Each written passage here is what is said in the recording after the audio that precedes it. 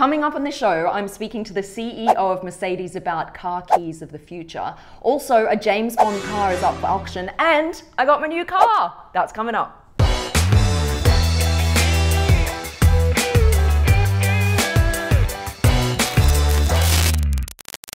All right, what's up, guys? It's Supercar Blondie here. Welcome to the Hangout. Oh, babe, you didn't mix it. Oh, gross. Oh well, she'll do. Right, let's get going. Car news. First up, a James Bond car. Wait, I'm spitting at you. One of the cars used in Spectre, the movie, is now up for auction this month. They used 10 bespoke Land Rover Defenders in the movie as getaway cars. Only seven of these still exist. One of these babies is now up for auction and it's been fully customized 37 inch wheels, plus a full roll cage and an upgraded engine. Jaguar Land Rover, we've got a new department called Special Vehicle Operations to build bespoke vehicles for customers, for clients, and it's actually that team that have worked on these vehicles. Land Rovers and the Range Rovers had a particularly bruising time. They've really been tested to their limits in deep snow, ice, some very extreme driving. So we really had to make sure that they were fit for purpose and they came through with flying colours. You can check that out on the Silverstone auction, and that's taking place on the 23rd of May. Right, next up in car news a super rare car has been found discarded in a barn in the US. It's the 300 SL Roadster, and it was actually hidden away for 40 years. Known as the Gullwing Mercedes, it's actually one of the most collectible cars on the market today. And get this, the person who found it sold it for nearly $1.1 million. What a find. Lastly, you guys, I don't know about you, but I'm missing my car shows.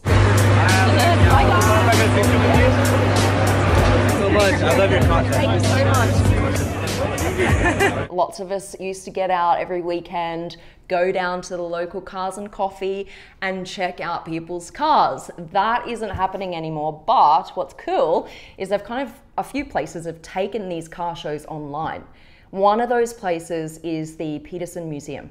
That's in LA. I actually visited them last year. They have one of the most exclusive car collections in the world. It is amazing. Like they have a vault downstairs, an actual vault, right, with the vault door that you have to unlock and get special access to go through and see these cars.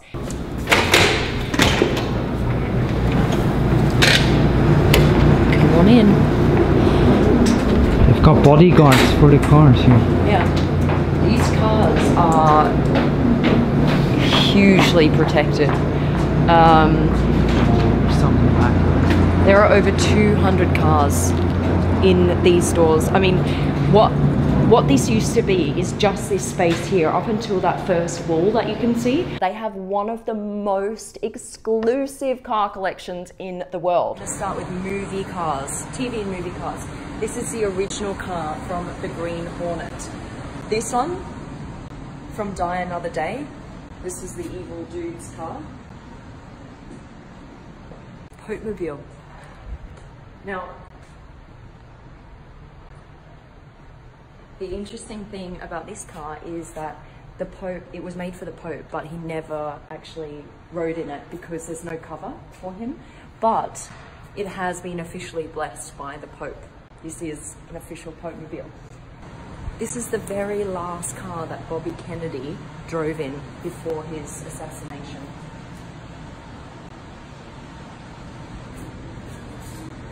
This one was owned by Steve McQueen and there are some predictions that this could be the most valuable car in the collection. I mean, it always depends on what someone is willing to pay for a car, right? But about $40 million is the guess.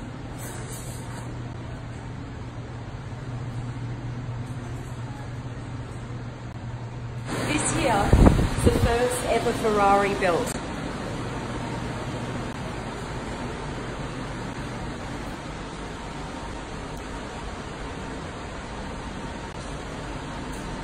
This is a 1.5 litre V12.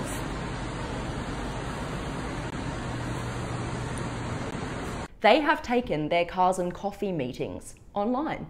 And actually, you guys can be a part of these meets.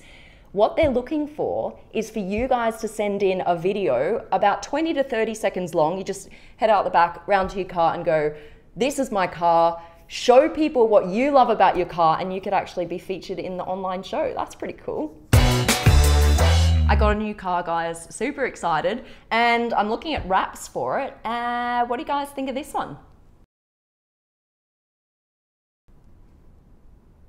Okay, maybe not.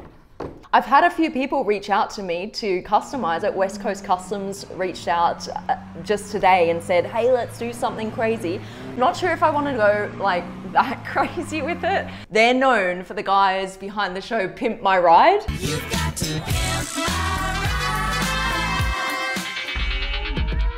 I don't know if I'm keen to have like a fish tank and like a subwoofer in the back of my Rolls Royce, uh, but let's see what ideas they come up with. It might be kind of cool. In today's interview, guys, I'm really excited about this. We are crossing to someone who's kind of a big deal in the car industry, the CEO and chairman of Mercedes. This is Ola. All right, here we are. Hi, Ola, how are you? Good. How are you doing? So nice to see you. I'm doing so well. Thank you so much for coming on the show. Thank you for having me. It looks like you're not at home anymore. Are you back at work? Yes, I am back at work. Actually, today I'm talking to you from the Mercedes Benz Museum here in Stuttgart. So, are you guys back up and running now? In some of our plants, we're back up and running because some markets uh, are starting to uh, gain some traction again. So, everywhere where we have demand, and most of our dealers are open around the world, although in this COVID uh, very unusual situation, uh, customers are still hesitant. Yeah, we're now kind of looking to China a little bit in that they're one of the first countries really to start opening up again fully. What are you seeing over there? Is is demand kind of back up to where it was? We just have the month of April behind us, and that was a pretty strong month. And our production plants are more or less uh, back to normal in China again. So you guys are kind of back up and running at some of your plants, which is exciting because there are a few cars coming out that I'm personally excited about. I know a lot of people watching this channel are excited about the Project One. What are you most excited about? One of the great things in the job that I have is I, I get to drive a lot of prototypes. And yesterday was one of those days. We have a fantastic test track just an hour south of Stuttgart and I spent a whole day driving everything that we have in the pipeline. So it's difficult to pick one, you know, which one of your children do you love most? You have to say everybody. But you always love one child more, right? If we're, if we're totally well, unofficially honest. then, unofficially then, let's give you three favorites. Uh, well, you mentioned the project, uh, Project One AMG hypercar. It's it's it's unbelievable. So that that has to be on the list. This is the year uh, where we launched the next generation S-Class, which has always been our flagship car. It will get, uh, let's call it a sibling here, which will be the so-called EQS. Okay, so yep. a fully battery electric uh, version of the S-Class, if you will. Are you personally excited about the direction that we're going in when it comes to electric cars? I'm very excited about Yeah. electric cars. If we go all the way back, our founding fathers, they invented this industry. Carl Benz and Gottlieb Daimler inventing the first car.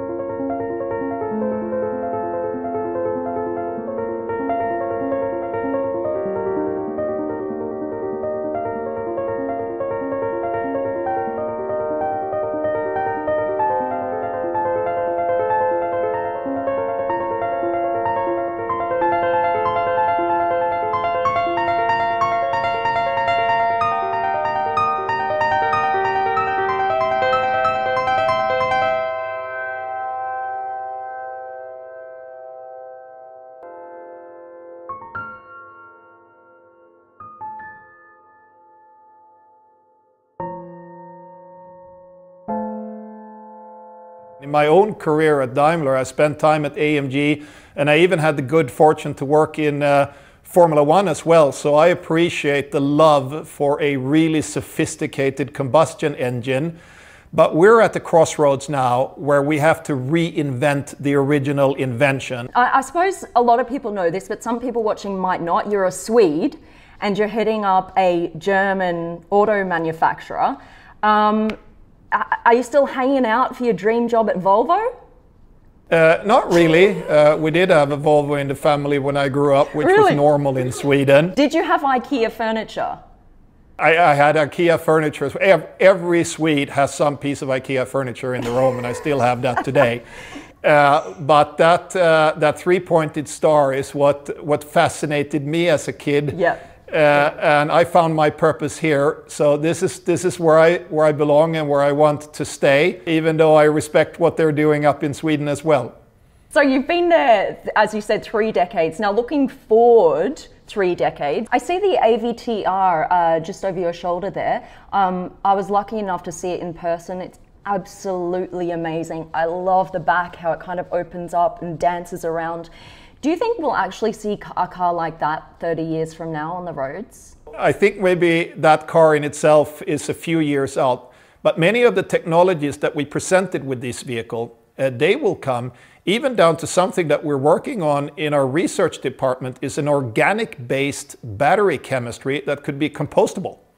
So uh, this whole thing about uh, uh, bringing technology and nature in harmony, which is also somewhat the underlying message of the Avatar movie, not all of that is science fiction. There is some uh, true core, some true research and engineering core uh, to things that we presented with this vehicle earlier this year. So once you're done with the battery, you just throw it in with the carrots and the, and the banana peels in the compost.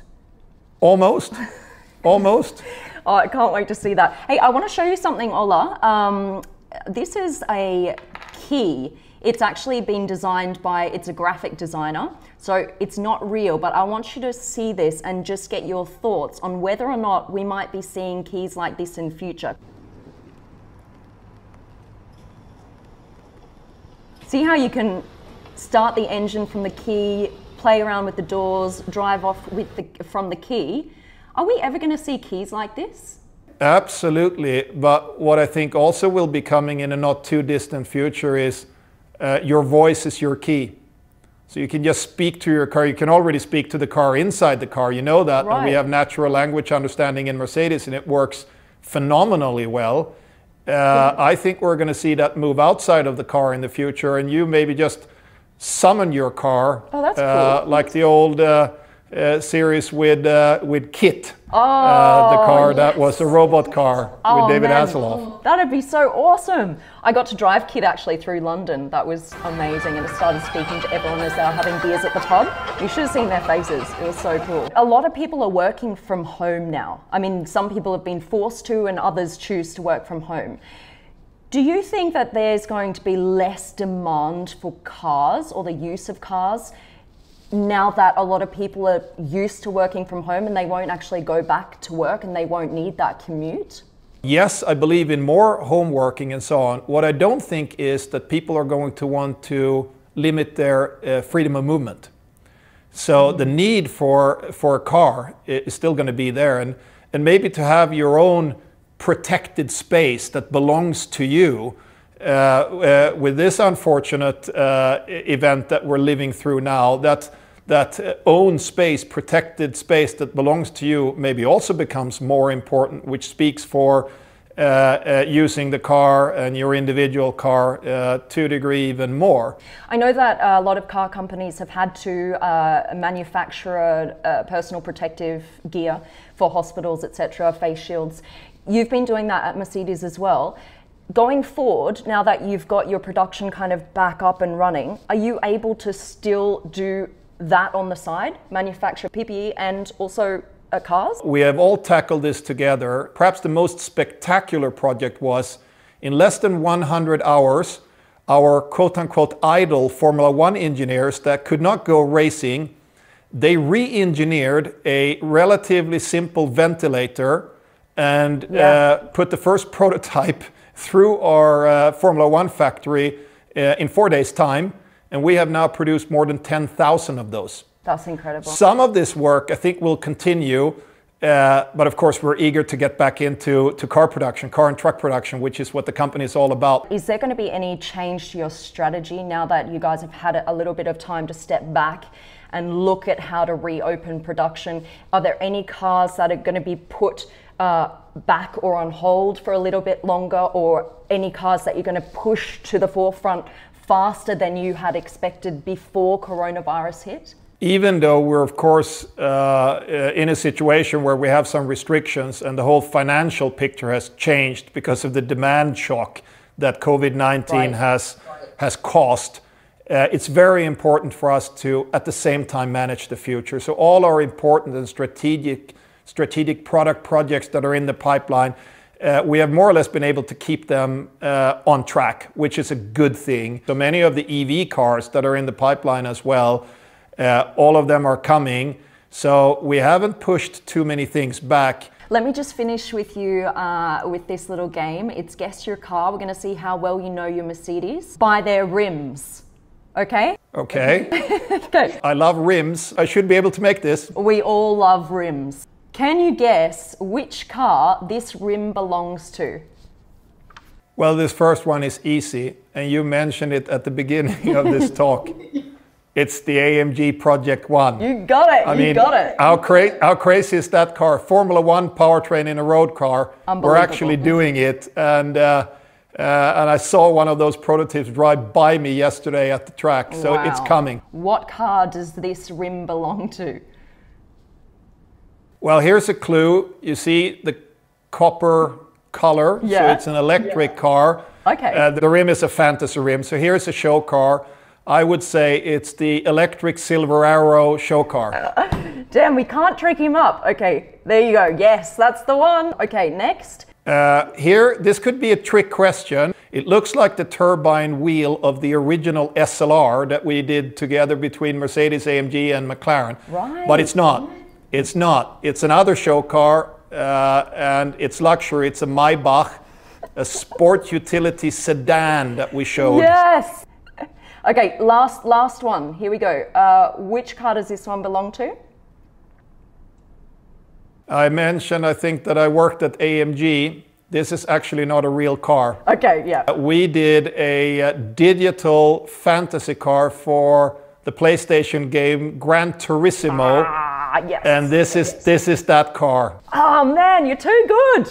All right, there you go. You can keep your job at uh, Mercedes for a bit longer there, Ola. We're impressed.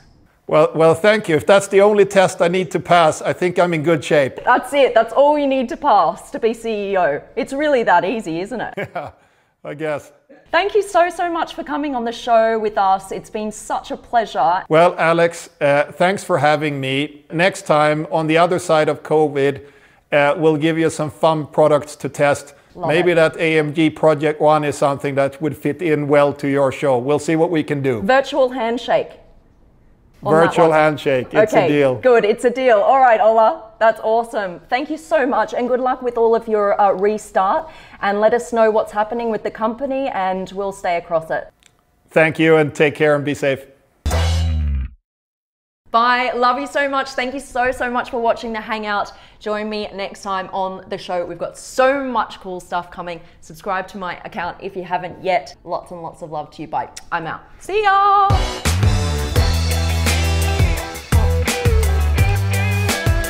Smokey! Bobby.